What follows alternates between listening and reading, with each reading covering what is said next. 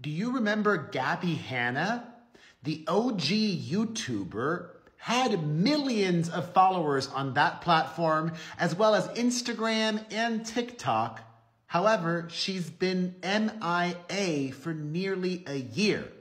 Gabbie has not posted on social media in any platform since February of 2023.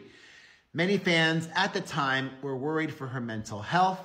It seems like she might be done with her career as an influencer because Gabbie Hanna has moved back home to Pennsylvania and has gotten herself a day job, or some might say a real job. But being an influencer, a content creator, that is a real job. I'm happy that she seems healthy and her new job is a fitness instructor at the Lawrence County, Pennsylvania YMCA. Check this out.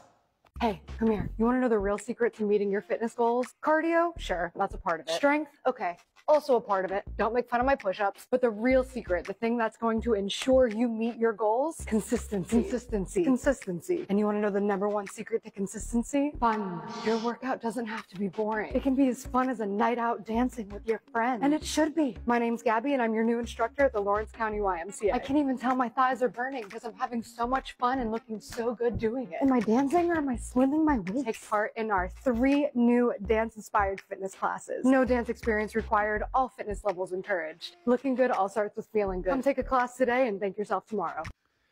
She is glowing and helping others and helping herself too. Inspiring Gabbie Hanna. And hey, the door is still open and I'm thinking you still have the passwords to your social media accounts. Maybe if it makes you happy, one day you'll come back.